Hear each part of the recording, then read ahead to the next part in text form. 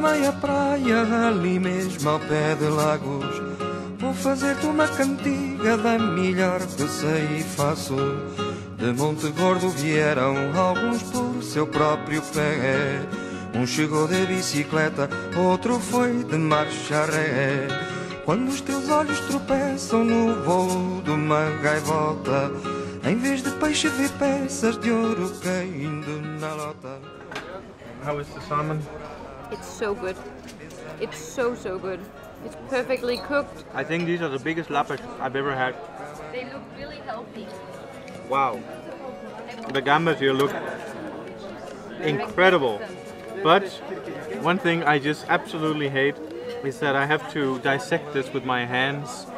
It's like you can't eat, you can't drink if you have to, if your hands are greased up. I never understood it, you know, what, why don't they do this in the kitchen? There, it's discriminating. What if you don't have any hands? What if, what if you you lost no- both your arms in a train accident? I will say that even though my fingers are greased up times two, these are the best uh, gambas I have had in my entire life. Absolutely unbelievable. And look, look how big! It's almost like a lobster. It's like a like a dwarf, a midget lobster. They're huge. Wow. It's heavenly choir.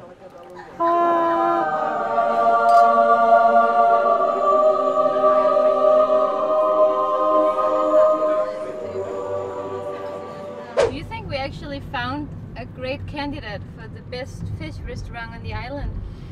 In terms of the gambas, by far the lapas also incredible uh, quality. I would eat there even if I wasn't allowed to wash my hands afterwards. It was so good.